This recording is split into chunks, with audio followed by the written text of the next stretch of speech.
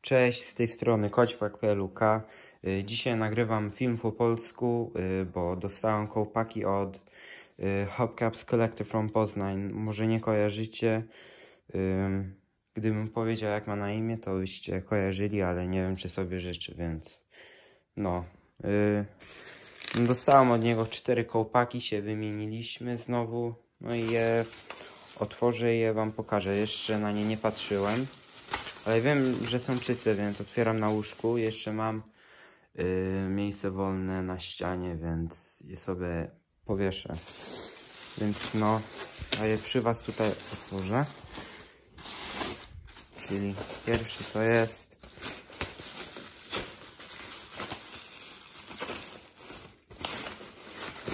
o, taki nowy, mokry ym, Volkswagen Polo, ale zobaczcie jaki piękny. I za to mu dałem dwa S-Maxy. Co, coś tu pisze. Volkswagen Polo, 15 i 35. No, wszystkie zaczepy są.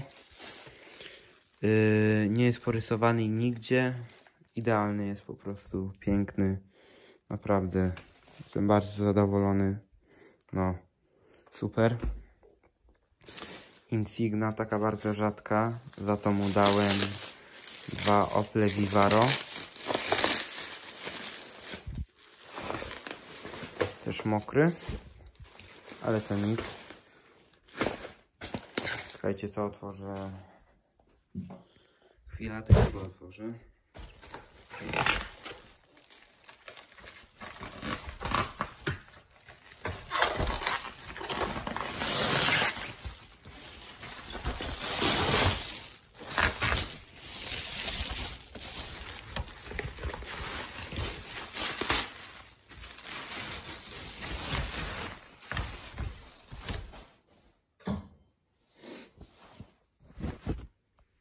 Okej, zobaczcie. Jest. Wow. Jest piękniejszy niż na zdjęciu. Wow, naprawdę. No, widzicie to? Ani, za, ani jednego zarysowania nie ma. Dwa Ople mi to kosztowało. Vivaro. Y, Czysty jest bardzo. Wszystkie zaczepy są. Naprawdę jest piękniejszy niż na zdjęciu. Wow.